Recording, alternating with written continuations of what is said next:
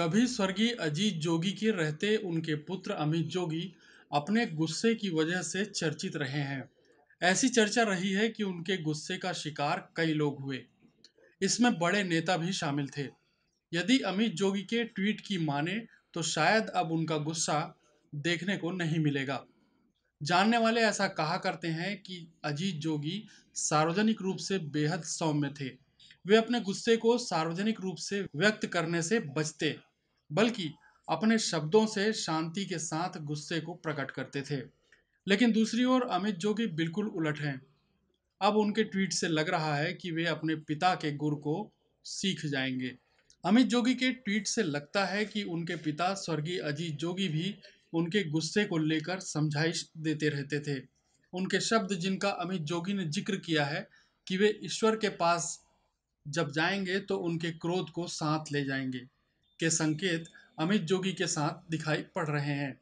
अमित अपने पिता के कद को कभी नहीं पाएँगे, लेकिन उनके गुणों को आत्मसात कर सकते थे। यदि वे ऐसा करते तो आज उन्हें सार्वजनिक रूप से अपनी गलती का एहसास नहीं होता। हालाँकि सार्वजनिक रूप से गलती को स्वीकार करना एक बड़ी बात है, और यही अमित जोगी का पहला कदम भी है।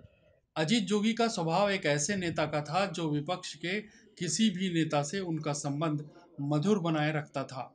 उनके एक ही आह्वान पर कई ऐसे नेता उनके साथ जुड़े थे, जो सिर्फ़ उन्हें देखकर उनके साथ हो लिए थे। अमित जोगी का प्रयास यही होगा कि उन्होंने अपनी गलती को स्वीकार कर लिया है, अब आगे बढ़ा जाए। स्वर्गीय अजीत जोगी के जाने के बाद पार्टी के कांग्रेस में विलय की बातें सामने आ रही थी, जो बाद में खारिज भी हो गई।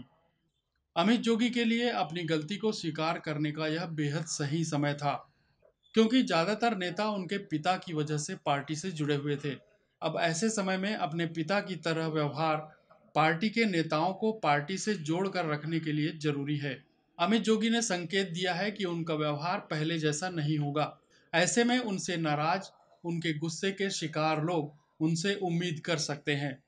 दूसरी तरफ़ वे अभी कांग्रेस से छह वर्षों के लिए निष्कासित हैं और कांग्रेस में जाने की संभावना भी बन सकती है।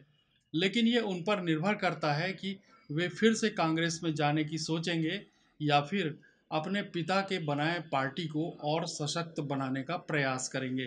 Bureau report, DNX TV, Raipur.